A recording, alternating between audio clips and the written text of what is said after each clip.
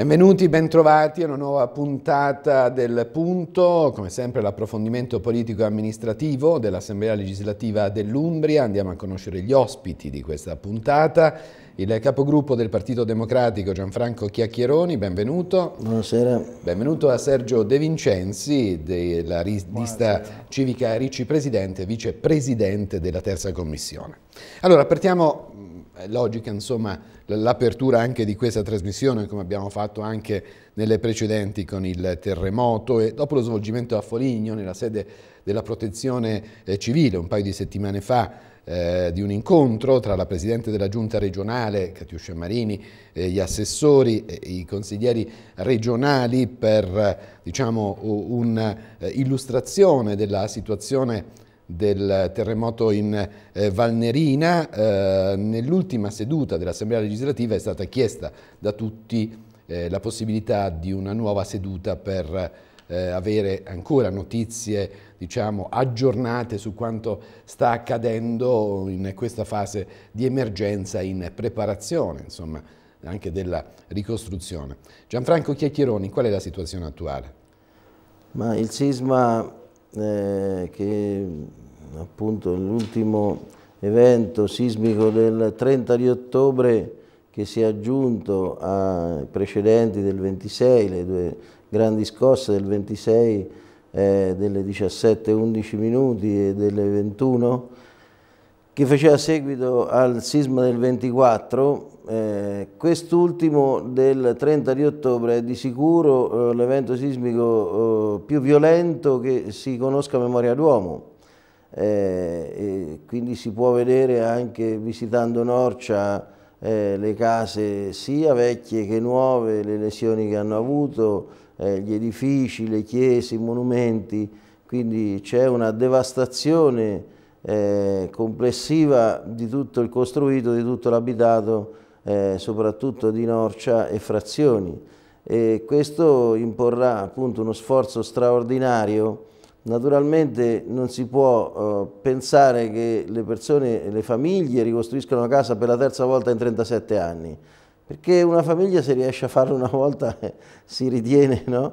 è già è un fatto importante, un fatto appunto di buona amministrazione familiare. Farla tre volte in 37 anni è una cosa impossibile se non c'è un sostegno straordinario da parte della comunità nazionale, europea e soprattutto da parte degli Umbri. Noi dobbiamo sentirci parte di Norcia. Norcia deve sentirsi il cuore dell'Umbria e eh, tutti noi dobbiamo fare qualcosa eh, per le comunità nurzine, per le imprese nurzine, per le associazioni, per i territori, per le frazioni, per il centro. Tutti dobbiamo fare qualcosa. Ecco, questo è il messaggio che ci sentiamo di dare eh, ai cittadini umbri e non solo perché eh, si possa eh, continuare a fare attività eh, normale, civile, imprenditoriale, lavorativa, religiosa e quant'altro nel territorio dell'Appennino, in questa parte dell'Umbria ma anche nel resto d'Italia. Questo è, eh, ci dicono il messaggio che ci dice eh, l'evento sismico di queste settimane. Poi parleremo anche di cosa si sta facendo e cosa bisognerà fare per queste popolazioni. Sergio De Vincenzi, ecco una prima lettura in base anche alle notizie, al di là di quelle che voi consiglieri direttamente cercate eh, di avere no? da, da, da, queste, da, questi territori bellissimi dell'Umbria, eh, ma anche dalle comunicazioni istituzionali. Insomma, come possiamo sintetizzare questa, questa situazione? Tanto questo, questo, sisma non coinvolge evidentemente solo Norcia, nel senso, parliamo per l'Umbria ovviamente con la Valnerina, ma è un eh, coinvolgimento anche molto più ampio, è un coinvolgimento, se vogliamo, che attacca le nostre stesse radici cristiane, perché vedere la, la Basilica di, di San Benedetto venire giù ci, ci, ci crea molto, molta costernazione perché da lì sono partiti tutti, bene o male, tutti quei benedettini che sono andati a, così, a svolgere un servizio con la scuola palatina e a diffondere attraverso il latino le conoscenze del tempo, non solo la regola benedettina evidentemente. Quindi è una realtà e giustamente si invoca una compartecipazione anche dell'Europa a questo, eh, diciamo, alle necessità di questa ricostruzione. Patrono, no? per, eh, cui, per eh. cui, a maggior ragione insomma, in tutto questo e eh, da questo punto di vista concordiamo assolutamente con quanto si richiede a livello nazionale. C'è da dire poi un'altra cosa, che ovviamente a questi beni culturali che sono andati eh, distrutti o sono stati lesionati seriamente è collegato tutto il turismo eh, della zona insieme ai prodotti tipici, per cui il danno non è soltanto di questo tipo, ma evidentemente per tutta l'economia che è anche l'economia della regione in senso complessivo, perché poi si viene in Umbria per andare a Salsisi, per andare a Norcia e, e così via. Quindi questi aspetti sono estremamente importanti e li dovremo riconsiderare tutti insieme perché in realtà il danno non sarà soltanto per Norcia da questo punto di vista ma coinvolgerà tutta la regione.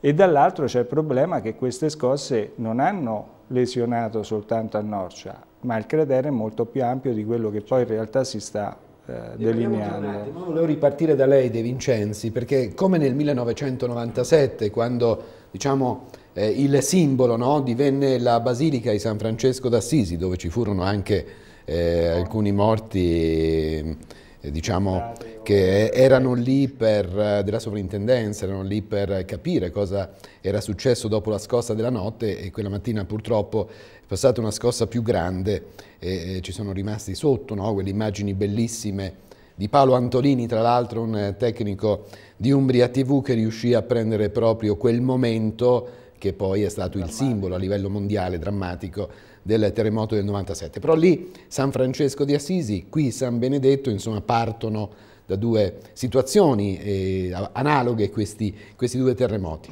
Volevo però arrivare a un altro discorso con lei.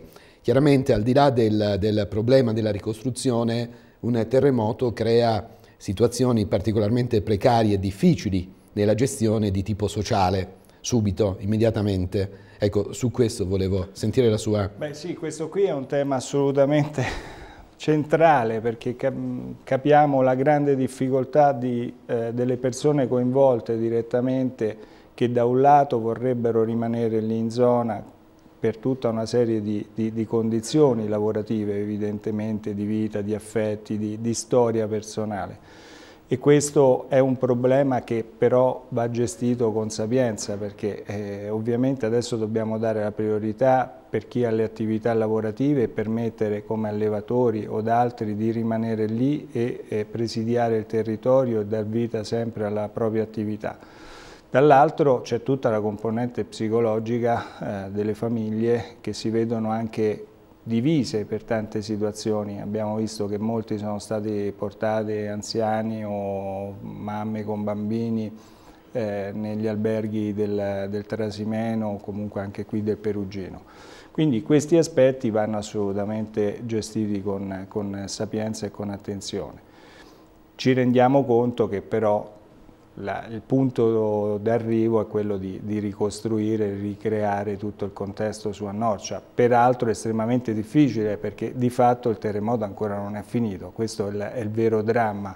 Per cui se oggi, mi sembra oggi o ieri davano una notizia di 7 miliardi di danni per quanto riguarda il primo sisma del 24, di agosto, oggi noi non sappiamo ancora quello che è, quello che sarà, certo. perché eh, questo è il vero problema anche di affrontare questo terremoto, non è una scossa secca per cui si ricomincia subito, eh, ma si fanno dei passi dimensionati alla situazione. Chiacchieroni, lei leggo che spesso insomma, è su quelle zone, cosa chiede la gente in questo momento in maniera particolare, considerando anche insomma, eh, che in questa fase dell'emergenza siamo alla fine di novembre, a metà novembre, insomma verso un inverno, e l'inverno in Valnerina, soprattutto in quelle zone, non è per niente docile no? dal punto di vista delle temperature. Chiede di fare presto nei processi di ricostruzione perché dicevo prima per alcuni si tratta della terza volta in quanto eh, hanno subito il terremoto del 79 eh, il terremoto del 97 e adesso del 2016, quindi nell'arco di 37 anni eh, tre sismi che hanno eh, devastato. Anni bisogna preoccuparsi, Chiacchieroni, mi pare. Questo non lo sappiamo perché no, è di Se guardiamo questo periodo, insomma, è questo. Eh, gli eventi sismici. per cui chiedono di ricostruire quanto prima, eh, di ricostruire in sicurezza. Eh, C'è eh, appunto eh, la, eh, ormai la richiesta generalizzata di costruire case basse, quindi con materiali leggeri, questa è la richiesta in generale. E eh, per quanto riguarda le attività vogliono naturalmente ripartire eh, immediatamente perché sono profondamente attaccati alle proprie imprese e alla vita che conducono con eh, grandi soddisfazioni.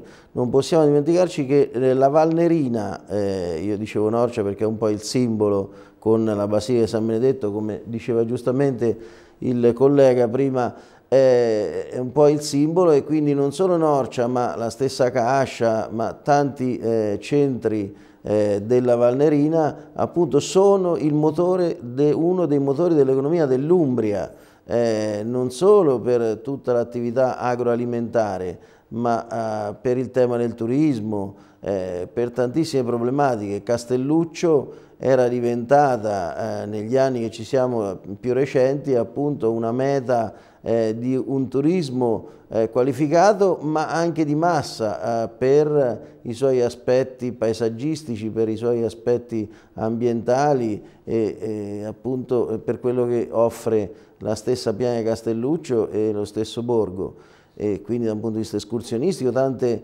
attività uh, si sono svolte. E quindi voglio dire per questo oh, io ritengo eh, senza um, paura di smentite che sia un motore dell'economia dell'Umbria la Valnerina per ciò che muove, per ciò che riesce e che è riuscita a costruire in questi anni con il grandissimo impegno. Eh, tutta l'attività dei prosciuttifici è unica nel centro Italia ciò che avviene appunto eh, nella, non solo nella piana di Santa Scolastica, Preci e così via. Quindi voglio dire c'è un'attività da ricostruire, questo è quello che chiedono, non a caso eh, non vogliono staccarsi dalle proprie aziende agricole, no? come diceva De Vincenzo prima, eh, non vogliono appunto abbandonare le proprie attività di norcineria e questa azione di solidarietà eh, che attraverso i social si è sviluppata in queste settimane ha dato loro tantissima speranza, oltre che la vicinanza dei cittadini italiani,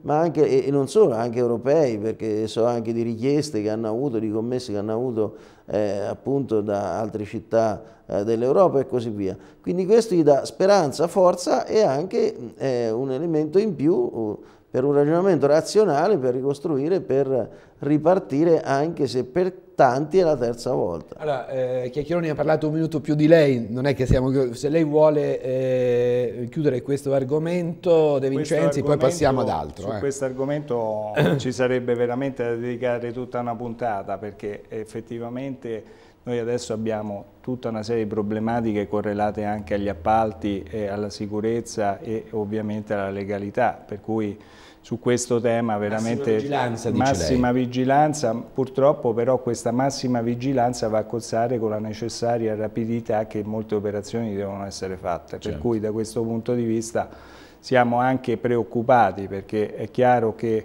Dobbiamo andare incontro alle esigenze della popolazione e del contesto locale, ma dobbiamo anche sicuramente eh, creare quella, quel sistema e quella rete per correggere. Dice, le imprese umbre non bastano, quindi arriveranno sicuramente da fuori, come accadde nel 97 del resto. Ma eh. assolutamente, quindi fare molta attenzione a chi arriva. Ecco. assolutamente, questo va fatto e c'è un sistema che diciamo, agisce già definito, però sicuramente i rischi sono altissimi.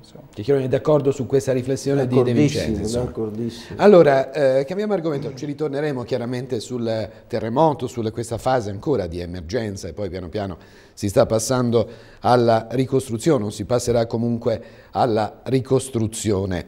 Eh, parliamo di un altro argomento che è il sociale, che è la sanità, allora, De Vincenzi è vicepresidente della terza commissione, eh, l'ambiente diciamo, sanitario e sociale conosce, è ben conosciuto anche da Gianfranco Chiacchieroni per la sua attività lavorativa prima di diventare consigliere regionale. Riparto da lei De Vincenzi, eh, in terza commissione eh, ieri questa trasmissione la stiamo registrando, oggi è giovedì 17, ieri c'è stata un'audizione per la non autosufficienza, insomma eh, uno dei temi più caldi in questo momento con richieste particolarmente chiare eh, da parte delle famiglie. Ecco, ci vuole un attimo entrare? Sì, eh, il tema della non autosufficienza è un tema molto, molto ampio, è difficile anche da catalogare per quanto riguarda le necessità che possono interessare le diverse persone, andiamo dagli anziani, passiamo ai giovani, ai bambini con disabilità di varia natura.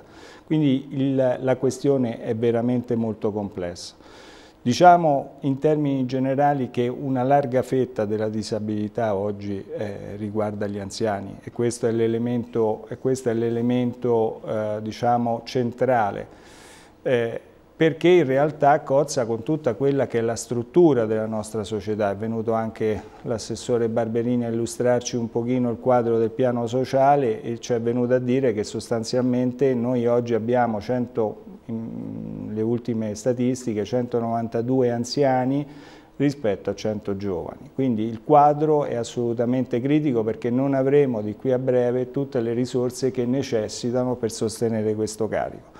Dall'altro ci sono problemi di disorganizzazione del nostro sistema sociosanitario locale, questo è emerso chiaramente all'interno dell'audizione che si è tenuta ieri dove moltissime famiglie afferenti alle varie associazioni eh, di, di, di, della disabilità hanno eh, manifestato l'assoluta insufficienza eh, sul territorio di equip specializzate dalla neuromotricità all'ortopedia, a tante altre questioni che non sono in grado di sostenere un, e di elaborare dei programmi di eh, sostegno per questi eh, bambini, per cui molte volte le famiglie sono costrette ad andare a Roma, ad andare a Firenze e lì farsi elaborare dei programmi specifici di eh, riabilitazione o quant'altro, salvo poi tornare in Umbria e non trovare nemmeno le strutture in grado di fornire quei servizi.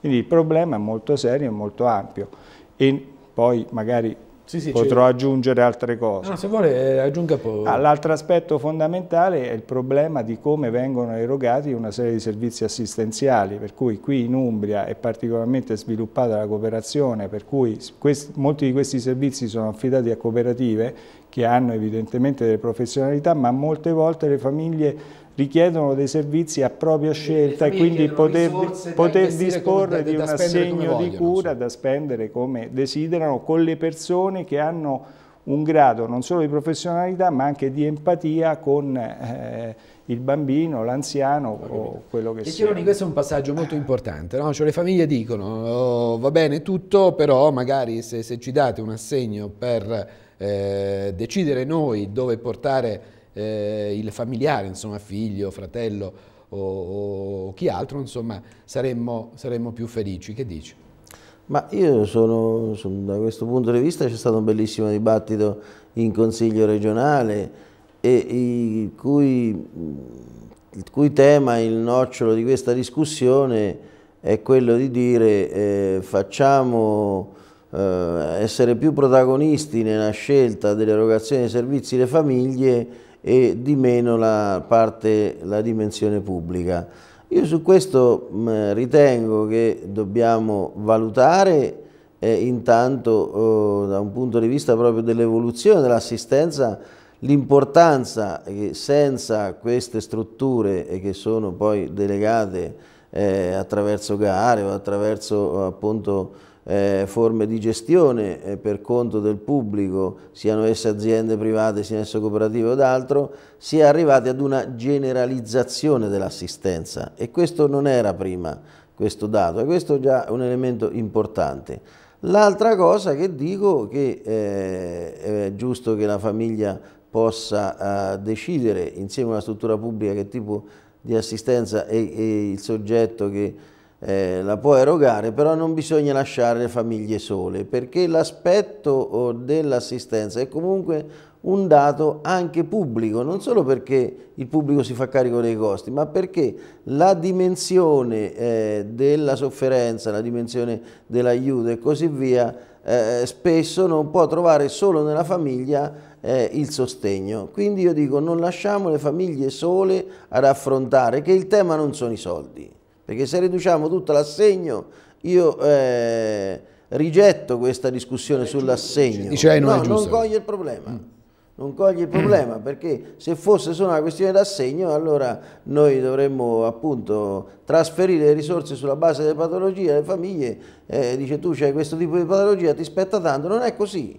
Non è così. Quindi bisogna che ogni tipo di situazione vada valutata penso che sia necessario anche laddove eh, ci sono problematiche eh, istituire nuclei di valutazione, certo. pubblico-privati e così via. Però non riduciamo tutto l'assegno, non solo perché è una questione volgare e non si può trattare eh, eh, le problematiche dell'assistenza in questi termini, ma anche, quindi non solo per una questione estetica, ma anche per una questione di sostanza che non dobbiamo lasciare le famiglie sole, anche se le famiglie in qualche maniera vorrebbero appunto, perché c'è bisogno anche di una eh, compartecipazione della sfera pubblica e anche della sfera generale dei servizi. E questo al, alla lunga voglio dire può essere eh, più efficace eh, che non il rinchiudersi con le proprie convinzioni nell'ambito della allora, famiglia. Chiaro mi pare che è sostanzialmente d'accordo, però lui dice non, mettiamo, non diamo tutta questa importanza all'assegno perché poi bisogna anche capire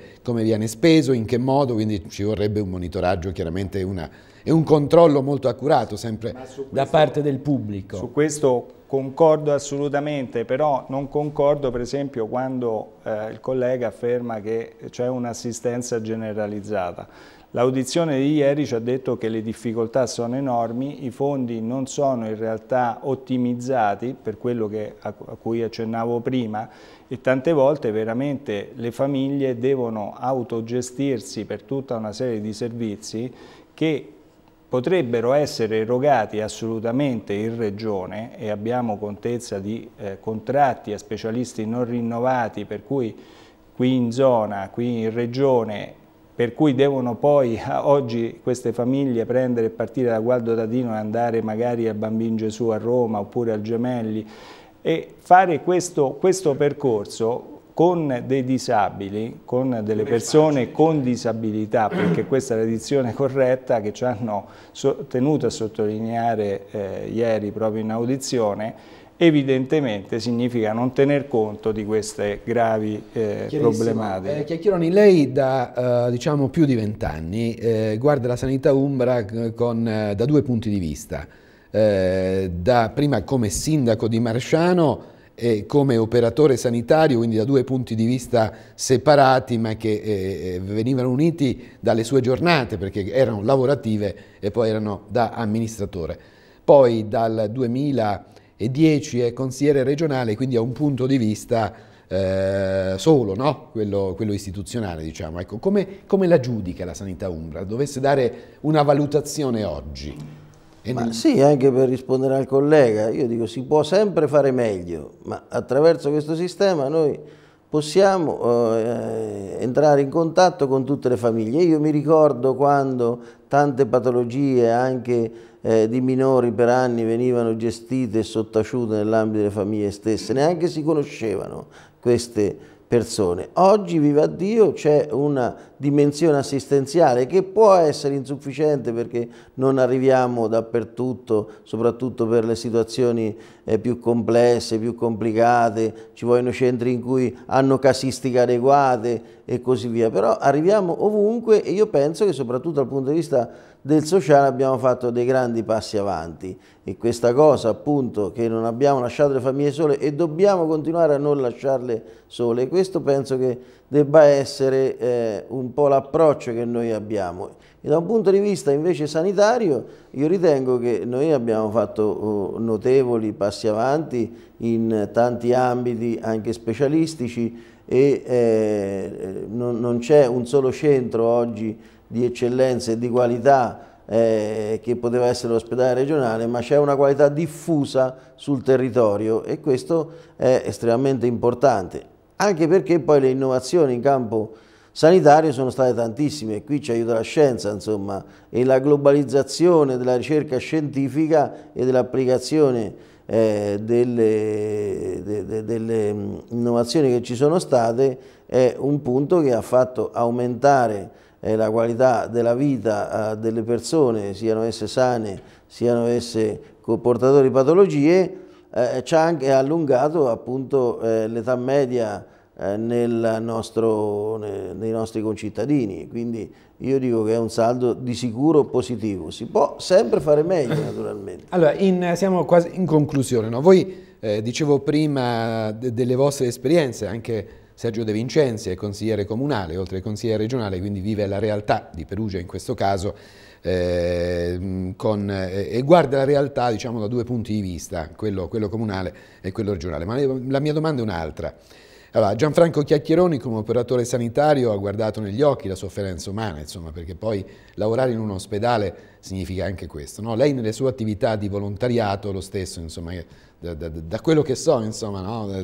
di, di, quanto lei fa al di là del suo impegno diciamo, lavorativo, eh, la sofferenza la guardate negli occhi. Oggi credo sia un po' aumentata rispetto a qualche, a qualche anno fa, ma per un politico la mia domanda è questa, quanto è importante conoscere queste queste situazioni di disagio e di sofferenza, De Vincenzo? Questo è, è, centrale, infatti il problema vero non è eh, forse più tanto l'attività di palazzo quanto rimanere a contatto con le persone, con la gente, perché è noi lì che riusciamo a percepire la necessità delle nostre azioni dentro il palazzo.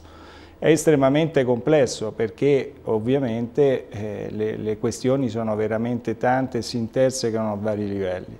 Oggi c'è poi da dire che eh, la frammentazione del tessuto sociale e soprattutto la disgregazione delle famiglie ha ridotto notevolmente un ammortizzatore che non è solo un ammortizzatore economico certo, evidentemente, ma è soprattutto di relazioni certo. e, e, di sentimenti, no? per cui oggigiorno abbiamo delle stime drammatiche perché mi dicevano che quasi il 75% dei giovani proviene da famiglie in qualche modo disgregate.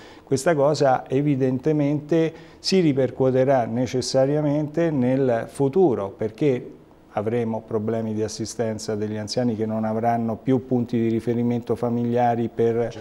un'assistenza, si ripercuoterà nelle relazioni e quindi nella sicurezza delle città. Quindi sono situazioni che noi come politici dovremmo prevedere e anticipare e correre ai ripari per. E Chiarone, chiudiamo con lei. Eh, C'è una frase particolare che non scorderà mai di, di, una persona, di più persone che lei ha conosciuto nella sua attività non politica, parliamo dell'altra, ospedaliera? Beh, ce ne sono tantissime, uno se le porta dentro e quindi poi alimentano il corso della vita, no? ti danno forza, coraggio per affrontare tante situazioni. Più che frasi ci sono situazioni, appunto, contesti in cui uno ha maturato anche il valore della vita e questo alimenta no? la forza per andare avanti, per affrontare situazioni di disagio come questa del terremoto, occorre coraggio, occorre appunto anche la consapevolezza della necessità di spendersi e questo si acquisisce solo con l'esperienza, andando sul territorio, come diceva il collega. Io mi ricordo nel 1980 ero a Laviano, eh, conobbi una persona, poi siamo diventati Terremoto amici. dell'Irpinia. Dell'Irpinia, sì, eh, il quale aveva perduto 48 parenti. E, era tornato da Londra e si è messo lì a scavare i suoi familiari dalle macerie e poi è diventato sindaco di Laviano. Eh. Questa è stata per me una bella esperienza, siamo rimasti in contatto e quindi da lì poi ho seguito un po' tutte le vicende del, del sisma allora, e dei vari... Chiudiamo con eh, un ringraziamento credo doveroso a tutti i volontari, a tutti coloro che, sanno, che aiutano ogni, in ogni evento sismico, ma in ogni evento naturale, in ogni calamità. L'Italia risponde sempre presente con migliaia di volontari che stanno sul campo, sacrificandosi e portando conforto in ogni modo a, a chi ha subito purtroppo l'evento. Grazie per essere stati con noi, grazie a Gianfranco grazie. Chiacchieroni, grazie, capogruppo del Partito Democratico, a Sergio De Vincenzi della lista civica Ricci Presidente e Vicepresidente della terza commissione consigliare. Grazie a voi per averci seguito, l'appuntamento è alla prossima settimana, arrivederci.